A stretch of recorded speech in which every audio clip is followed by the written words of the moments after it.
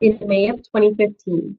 He obtained an honors degree in commerce from the University of Saskatchewan and worked in marketing with Maple Leaf Foods and in a number of executive positions, including chief of staff to the leader of the opposition. In 1996, he was appointed to the position of Manager of Public and Intergovernmental Affairs and Special Projects for the City of Saskatoon, where his duties included project management for the River Landing Redevelopment Initiative. Chris returned to the Government of Saskatchewan in 2009 as Senior Vice President of Marketing and Investment Attraction for Enterprise Saskatchewan and was appointed Chief Executive Officer in 2010. Before joining STEP, Chris served as the Associate Deputy Minister of the Minister of Economy and Chief Executive Officer of the Global Transportation Hub. He is an accredited public relations practitioner, an APR, and two-time winner of the prestigious Premier's Award for Excellence in the Public Service. Thank you, Chris, for joining us today. And Chris, we'll get you to turn your mic back on and join and get your webinar started. Well, thank you very much uh, for that introduction. It's a, a, great pleasure to join with the Women Entrepreneurs of Saskatchewan on this webinar on a topic that really is um, something that is of great interest, not only to me, but to many people in Saskatchewan. That's business, exports, and, and trade. Um, I should note that while I've participated in, in webinars before, this is my first time presenting, so be gentle with me. I was uh, reminded of my limited technical expertise when we uh, tried to get the camera working on my end to no avail. Uh, but that's okay. For those of you who have met me, uh, you're not missing much by missing my, my, my end of the camera. Uh, so we're going to go through uh, a lot of material today with, with some speed because I do want to get to some, some questions and, and discussion. but we are going to talk about um, an overview of, of, of Saskatchewan's exports, uh, the Saskatchewan export story.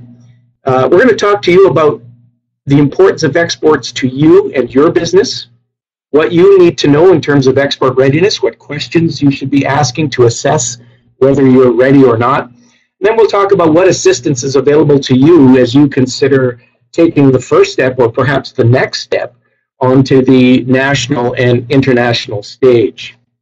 So the Saskatchewan export story is really quite interesting and it's important. It's critical for all of us to understand.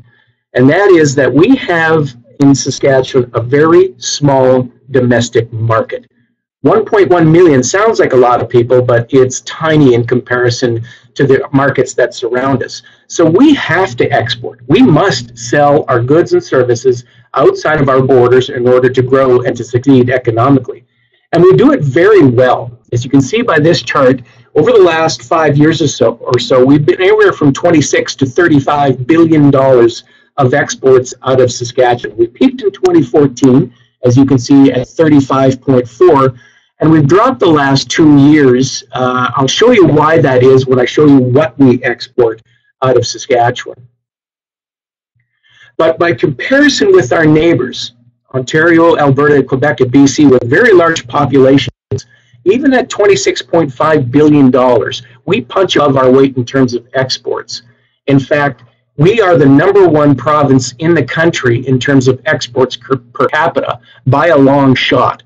And again, it's because of the large amounts of, of resources and commodities that we produce and the small population.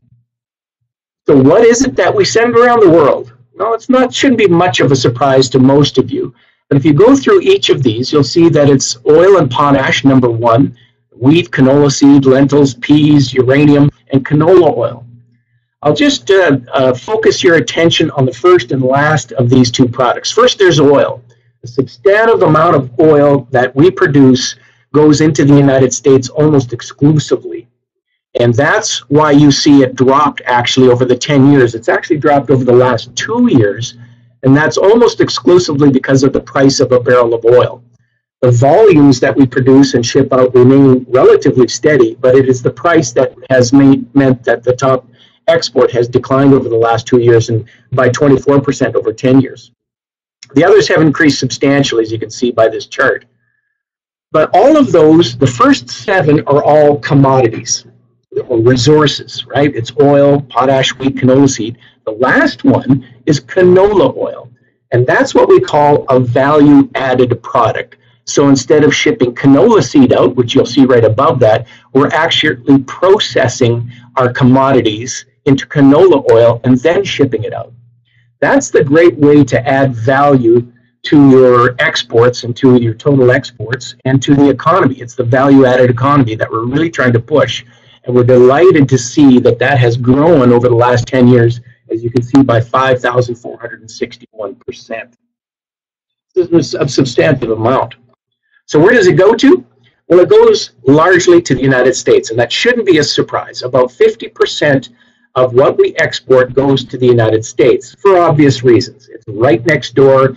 They speak the same language, American, uh, same business culture, uh, and it's a large market, which I'll show you in a moment.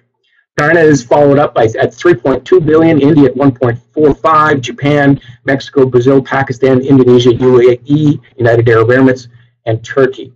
In fact, we ship to over 150 countries around the world, but these are our top 10.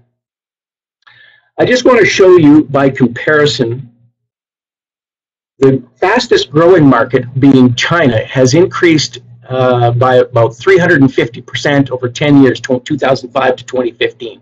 It's a big market that we are seeing a lot of success because it is growing and it's growing substantially. We spend a lot of effort in marketing our products into China. But we shouldn't do that at the expense of our existing customers, and that is the United States. It's a huge market, and this certainly tells that story. This is a map of the United States with each of the states compared to a country of the world that has a similar GDP. And you'll see that the, for instance, the state of California has the same GDP of the entire United Kingdom. Texas, Saudi Arabia, uh, New York, it's the size of Turkey. The point here is that we have a massive market right next door. We don't have to go necessarily around the world or overseas uh, and into some of the exotic markets or developing markets in order to experience growth. Uh, it's right next door in the United States of America. So if you're joining us on this webinar, you may have already asked the question. If you're looking to export, is it worth all of the effort? Why would you look to do this? Well, exporting can be one of the best ways to grow your business. We found that it's about increased profitability. You can grow your bottom line. Uh, we find that companies that export are 17% more profitable than those that don't.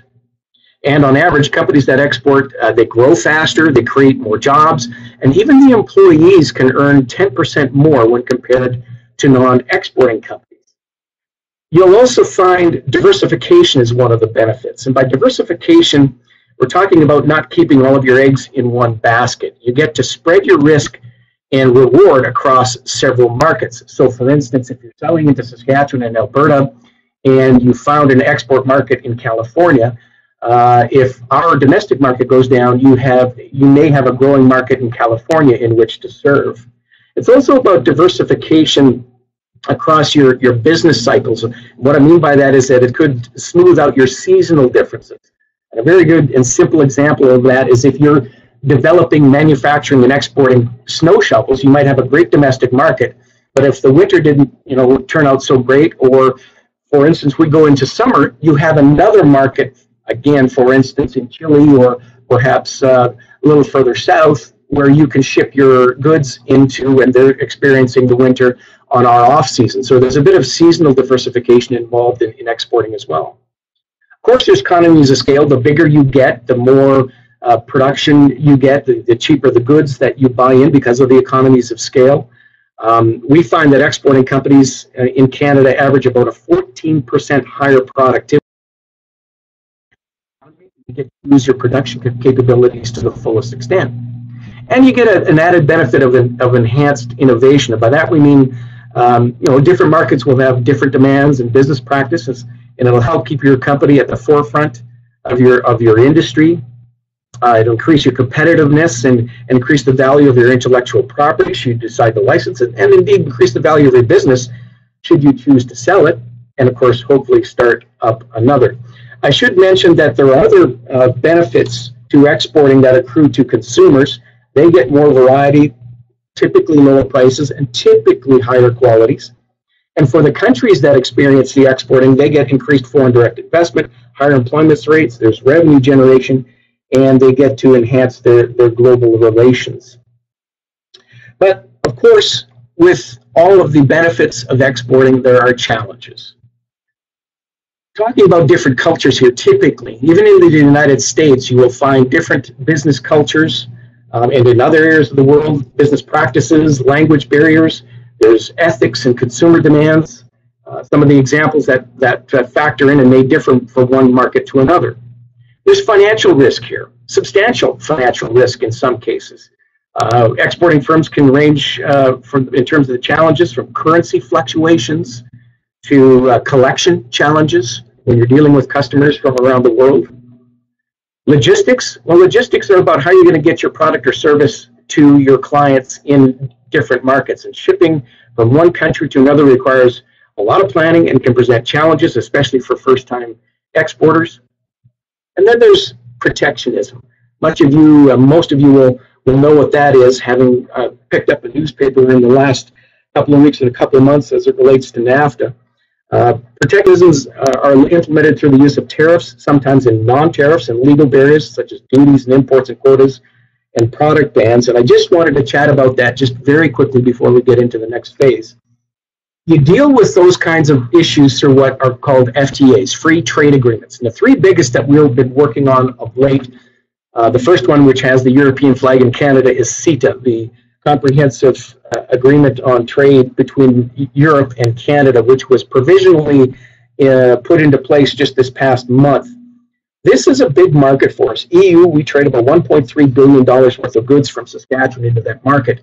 But there are some products and areas and services and manufactured goods where we face some significant tariffs. Those all have dropped as a result of that free trade agreement and we get uh, preferred country status now into Europe. And we find it'll be a great opportunity for Saskatchewan companies to increase their exports into Europe. I'm going to skip NAFTA for a second and go to TPP, the Trans Pacific Partnership, which you have heard and I had thought was dead in the water after uh, Mr. Trump, President Trump, decided that they would not participate. All the other companies and countries in the Trans Pacific Partnership, including uh, places like Australia and Japan all wanted access into the United States. When the United States pulled out, we thought TPP was dead. But the remaining countries are all going to now look to see if they can't get a free trade agreement amongst themselves. Good news for us is that then we would get uh, favored nation status into Japan, which is another huge market for us if that goes to uh, goes goes uh, into fruition. Then, of course, you've all heard about NAFTA, the North American Free Trade Agreement, which is being renegotiated now.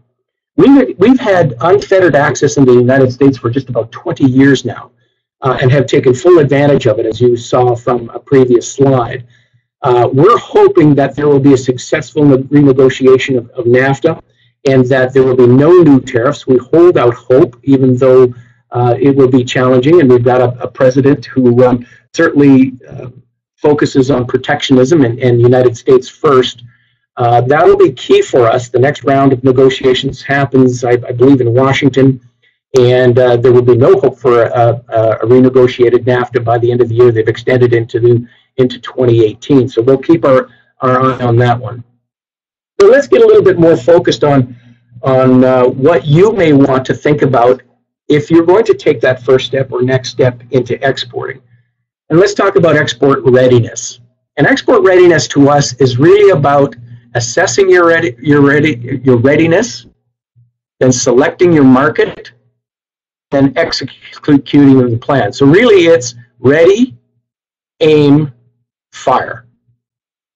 What I want to talk to you about, because each one of those areas could take a full day of seminars to go through about what we mean and what you might want to know uh, about those elements of the plan, I want to talk to you about the ready part, export readiness. These are a series of questions that I'm going to go through with you that you need to kind of ask yourself, your company, about um, various aspects of exporting and various places in readiness in your business that you need to think about before you take that next step. These questions are fairly familiar. If you've been around the uh, websites that uh, do some export readiness, they're very common to each site. And some of the sites, and I'll give you some of those URLs at the end, actually have an opportunity for you to answer these questions. And then they will give you a score as to whether or not you are ready or not. But it's, it's, it's useful just to go through them and, and explain what they're after. Do you have a fully developed product or service in your domestic market? It sounds like a fairly simple and easy question to answer, but a lot of people do chicken and egg and egg and chicken. They may not want to develop a product before they know whether they've got a market for it, and that market may be international. So it's not as easy as you think. So we first ask when we ask for membership into STEP, do you have a product uh, that is ready that you have in your domestic market? and are you ready to, to then um, make that next step?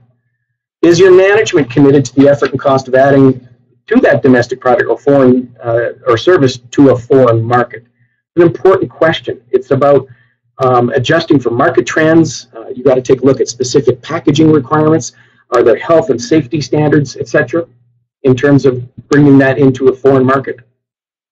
Does your organization have a competitive selling proposition for your product or service? This is about your value proposition. You may have developed one for your domestic market, but is it similar to your export market or do you have to change it or develop it? You have sufficient production capacity that can be committed for export. I'm going to stop here for a second because this is very, very important. Some of you may have recall a, an ad from FedEx back in the 1990s that involved an online startup company. They were clearly going to do all of their orders over online, and they just clicked the button to start taking orders online. And the staff gather around the screen, and they see that first order pop up, and there's great celebration and, and screaming, and then 10 come up. And they're just, the, the, the celebration continues until it gets into the thousand. Then all of a sudden, 5,000, 20, 150, 200,000 orders. And you can just see the balloon go out of these people's faces because they realize there's no way they're going to be able to fulfill those orders. What we're talking about here is very similar to the SMEs that we talk to that may want to go into, for instance, China. They may have great markets here for, for honey, but if you go into the Chinese market, are you going to be able to produce enough honey to supply what the orders you may be in some of these very, very large markets? It's an important question to ask. Do you have the management knowledge and experience and commitment required to develop export markets? This is about resources and capacity, not only as an owner, but your, your management team as well. So for those that are watching carefully, you will see that that next question is actually doubled. It's just me not paying attention and submitting a, a slide deck that contained a, uh, a doubled question. So, have you conducted some research?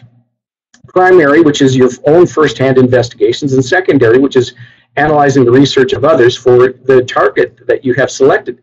Uh, again, you have to start thinking about questions like, does the product need to be adapted, and how? How is your pricing affected by the market?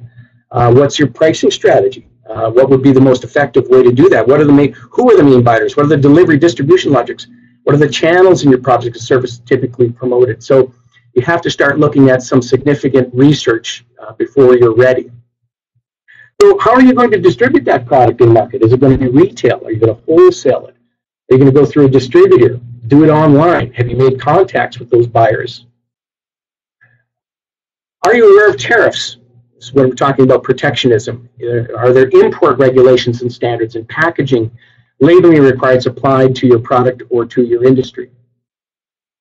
You have your promotional material ready. If you're going into a market that has a different language, have you prepared and budgeted for translation? Have you reached out to the various shipping district channels and figured out the channel, uh, the distribution channels and their costs? And you better get very familiar with what's called an Incoterm. Incoterms are rules uh, for defining the obligations of the delivery of the merchandise. It's, it's for, short for international commercial terms, and they outline who pays for what costs and where the risks uh, shift from buyer to seller. And are you protected against risks such as non-delivery or non-payment at every stage? It's one thing to not being paid by a business across the street. It's a very different thing from not being paid from somebody from India or Indonesia, for instance. So all those questions are what you need to start thinking about if you really and are seriously thinking about getting into the export business. Now, it may sound a little bit daunting, it may sound um, concerning, but there is a lot of resources out there that are available to you that will help you through that and provide some of the answers that you may be, may be looking for. We'll go through just a few of them before we get to what we can offer at STEP. BDC on the bottom left corner, that's the Business Development Bank. That's Canada's uh, development bank for SMEs, small and medium enterprises. They offer financing. They also offer advisory services, particularly in international engagement and capital. EDC is Export Development Canada. You recall I talked to you about Incoterms and are you insured? Uh, do you know who you're dealing with? Do you want to make sure that you have insurance when you go out into that real world? That's what they provide. They provide export credit insurance, bonding services, as well as foreign market expertise. Our good friend, friends in the federal government from Global Affairs Canada are critical to what you will want to do uh, in international uh, markets. They not only have local staff, including some that are co-located right here in STEP's offices in Saskatoon, but they also have the Trade Commission. They're the ones that have the posts around the world who are dedicated to helping you trade with the country that they are in. One other uh, element of Global Affairs Canada and the Canadian Trade Commissioner Service that you want to be aware of uh, as women is an outfit called Business Women in International Trade, BWIT. Check out their website because they are a part of the federal government, which is the only national program and service that I know of that is uh, provides targeted products and services to help women entrepreneurs internationalize. Again, that's BWIT, Business Women in International Trade. So I want to talk to you about what we can do at STEP for you and perhaps your first foray or your expansion into international markets. First of all, STEP is an independent agency of government. We are not a ministry, we are not a crown corporation. Uh, we are a unique structure, a public-private partnership, but we're led by the Saskatchewan export industry. We have a board of 15. There's 12 elected export members that sit on our board and provide us assistance and direction and, and strategy to move products and help SMEs move their products around the world. So our members are Saskatchewan-based companies pursuing markets. They do have that exportable product or service, uh, and they're small and medium large, uh, typically. We have everybody from Viterra and Cameco, uh, very large multinational corporations, down to uh, really mom and pop shops who have just started and realized that the domestic market here in Saskatchewan is too small and that they can expand to uh, other markets and grow their businesses. Our membership includes regular businesses, associates, and premiums. This is that you would probably fit into where we uh, have our regular uh, membership, and that's companies that currently are exporting or are looking to export with a tangible product or service. The premium members are very robust companies that are already in the international field but want to step up and have additional services from STEP, and they pay a premium price for that service. So what we offer for service is a lot of the answers to the questions I asked earlier. We offer export market consultation, advice, and guidance, specific guidance on trade, finance, tra transportation, logistics issues. And once you're ready to take that product or service abroad, we can provide very tangible and very tangible services that are dedicated to your needs as a business. So we do outbound business development missions, 40 to 45 a year. That means we take five businesses with us into a particular market and perhaps at a trade show and help them market to uh, buyers, retailers, distributors, and wholesalers. Again, we do 40 to 45 of those a year. We also do incoming buyer missions. These are very efficient ways to bring international buyers in to meet with our members uh, within a particular sector. A couple months ago, we had uh, 30 Asian buyers come into our agri-food sector, and they uh, conducted all sorts of business, everywhere from, from honey to uh, camelina oil um, and to chickpeas and, and a number of other agri-food products. We offer qualified trade leads. we get a number of companies asking and phoning us saying, where can I procure, for instance, lentils, or where can I get uh, bolts for mining? And we provide those to our members. So it goes straight from received to our members. We did 4,707 of those just this previous year. And then we do customized market intelligence reports. We do 300 of those a year for our members. This is where you come to us and say, look, I've got a widget. I think my market is in the United States, but I'm not sure which state, for instance. Can you help me determine, for instance, what my market might be in Cal, uh, sorry, California, who the competition might be, what are the prices, what is the regulatory barriers for shipping my product, product into California, and those kinds of questions are all done in customized market intelligence reports that we do for our members each and every year. We also have a market access program, MAP. So if you become a member of STEP and you want to go to that California market with your widget and you've never been there before, we will reduce that risk. We want to encourage your entry into that market by saying, look, we'll help you with the cost of that particular mission. As long as you haven't been in that market before and it's a, a, legitimate marketing, international marketing exercise. We will subsidize your flight or your hotel or perhaps your booth space at any particular trade show. As I mentioned, we have an incoming buyers program.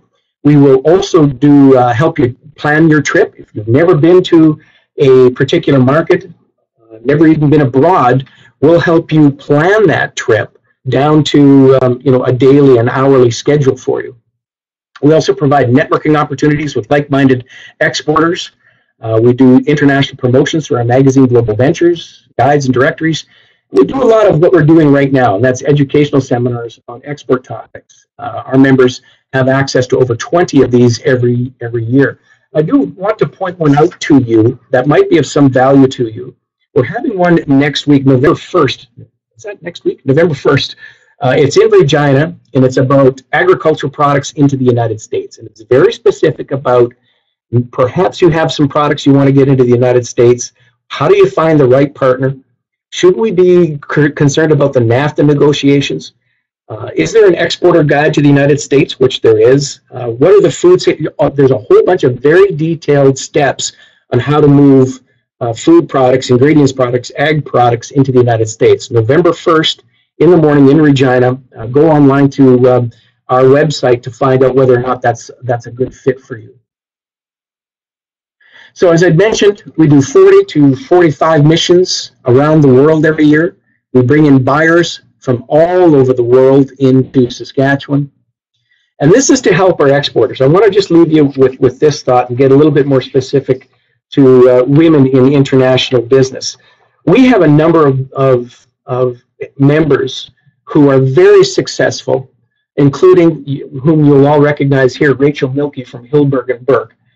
She's been a member for just about 10 years since she start, started in 2007. And as you know, she manufactures and retails beautiful jewelry around the world out of her business uh, location and, and, headquarters in Regina. Likewise, Natasha and Elysia Vandenhurk uh, from Three Farmers. Uh, they produce this very unique uh, traceable farm to fork products in camelina oil and roasted chickpeas and, and pea pops. And then some of you might know uh, Angela Prop Schmidt uh, from Red Willow Organics. She, she produces certified organic grains, uh, clovers, oil seeds, and beefs, uh, and beef, and, and, and certainly is exporting it outside of our out of, out of our province. And she established near Carrot River, and she also sits on the board of Saskatchewan's Trade and Export Partnership. Uh, so there's wonderful opportunities not only for businesses, but for, for women looking to engage internationally. Uh, I would encourage you to check out our website. As I've mentioned to you previously, it's sasktrade.sk.ca. There's a member directory. You can go in there and see who else is, is a member of STEP, and that's listed by sector. There's some uh, exporter resources that you can take advantage of without having to be a member. Trip reports, finance guides, uh, other business tools. And then there's that calendar of events on our seminars and missions and, and partnered events that you can take full advantage of. Uh, and if you want to contact us outside of, of on, uh, online opportunities, you can always call us, drop us an email. We're on Twitter, um, and uh, we're available at any time. Uh, that's the quick presentation. Um, I wanted to leave as much time as we can. Well, it's a, just about a half hour for any comments, questions, or, or suggestions you might have. And in talking to um, the staff at uh, WESK, I understand we can do that through chat, um, or they can be uh, read by the um, uh, host through the speakers and, and through through through microphone. So, if anybody has any questions or comments, I'd be happy to uh, entertain them.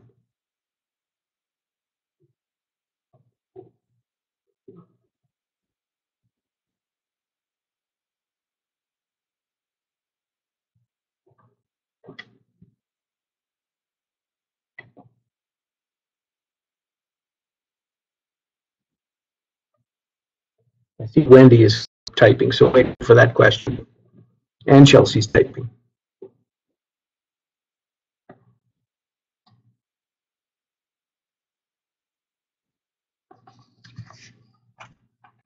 While we're waiting for those questions to come in, I should note that um, Prabha Mitchell and I have been meeting on, a, on numerous occasions on how we might be able to do a, a larger event um, for women in international business and, and exports. Uh, and we're looking at doing something in the in the new year. So stay tuned um, and make sure you follow both WESK and and uh, Sask Trade STEP for further information on that. We think it's a it's a it's a critical topic um, and one that I think benefits uh, STEP exports and women alike.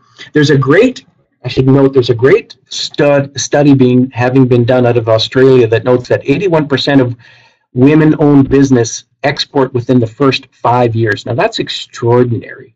Uh, most businesses that are located here in Canada are certainly can't claim that they are exporting within the first five years, let alone being women-owned. So it's a pretty impressive opportunity out of Australia that I think we can match here in Canada. Okay, here's some first questions. Well, there's the question. On average, how fast can exporter to establish a foreign market?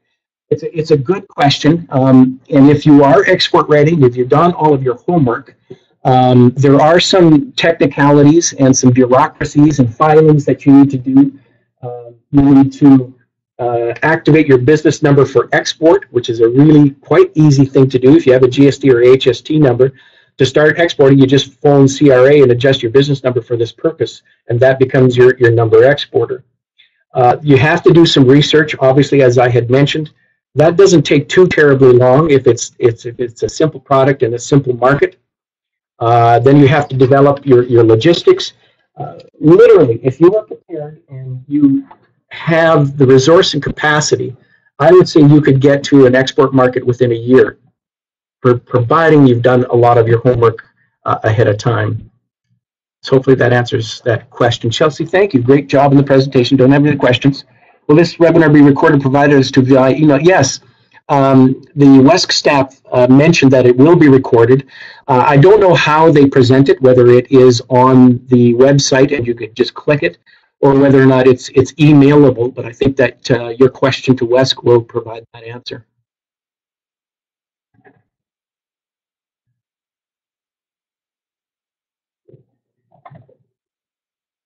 Are there general procedures in receiving country to go through? Oh yeah, um, and they're different in, in, in every country, unfortunately. These free trade agreements I'm talking about tend to cut through a lot of that. What they do is not only say that, look, you can we can export and import to each other without any tariffs. Everything will be zero. Everything will be held at a neutral tariff.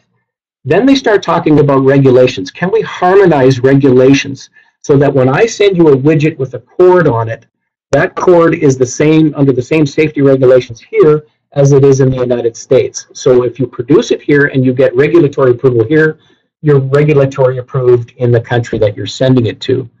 So um, general procedures really is mostly about what you're producing and what you're selling and what the safety uh, and other regulations will be. Uh, I hope that answers your question, Wendy. Ah, okay. Uh, yes, our friends at WESK say that it will be posted under the website under recorded webinars. That's fantastic. Oh, I'm on YouTube. That's cool. Um, hopefully, yeah, Wendy. I hope that answers your question. It's it's a large, um, it's it's a big question. The quick answer is yeah, there are, and, and folks like STEP and some of the other resources will help you go through those.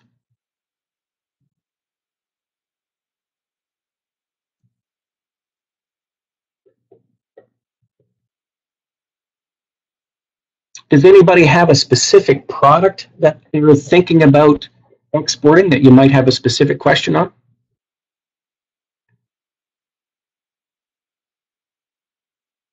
Or is it very early and you're thinking about going internationally? I can understand that.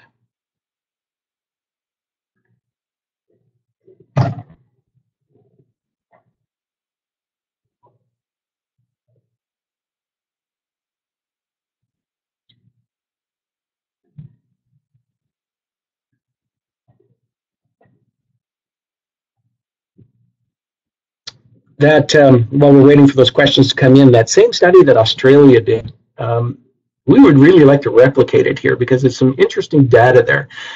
The women that own businesses that are exporting, 33% reported over 50% of the revenue is coming from exporting, um, and 74% are looking to expand. And none of them indicated that they were looking at scaling back their, their global reach. So obviously, um, women in international engagement in Australia is doing exceptionally well, and we may want to take a look to see if we can't replicate uh, their programs and services here.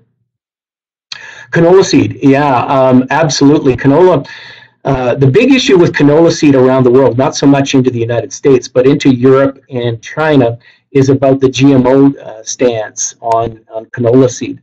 Uh, you know, I believe the science, right? I mean, everybody should be science based and note that the, that uh, GMO canola um, is is completely safe, has been proven completely safe. But some countries um, want to put up uh, barriers to to um, selling and importing canola based on their fear of GMOs, and that's where these science-based regulatory bodies and free trade agreements come very, very handy um, they will say, no, we are going to judge an import based on science. So we're going to allow, for instance, canola seed to come in, Canadian and American canola seed to come into Europe and into China, for instance, because uh, the science says it's it's more than safe. So there's there are regulations on canola seed and other products, and it's all about health and phyto and uh, phytosanitary reasons, and uh, they can be a technical barrier to trade, but uh, they are coming down. Uh, probiotics, so it's going to require a lot of research. Yeah, uh, can make the same health claims in different countries. That's exactly right.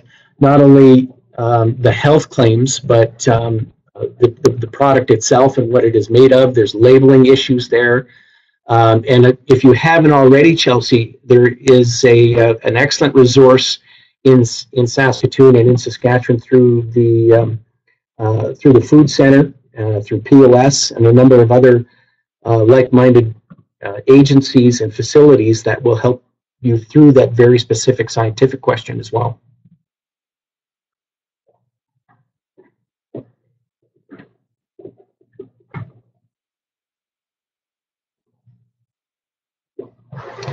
Okay, all right, I'll just wait a, a couple moments to see if there's any other questions.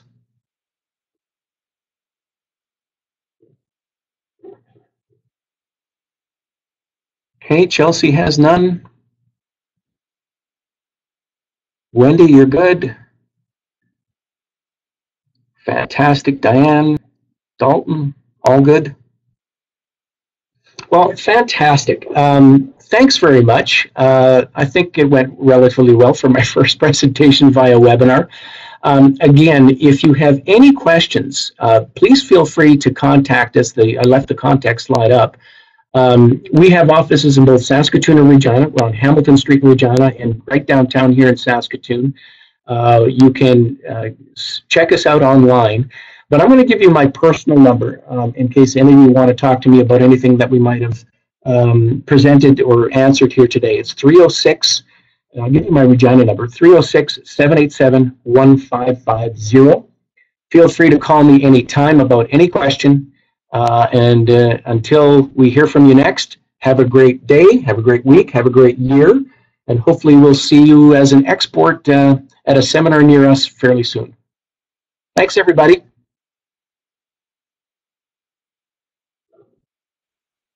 Thanks very much, Chris. That was a wonderful webinar. Um, we really appreciate you giving us time to share your insight. Um, actually, Crystal, continue to turn your mic off. Continue to turn your mic off.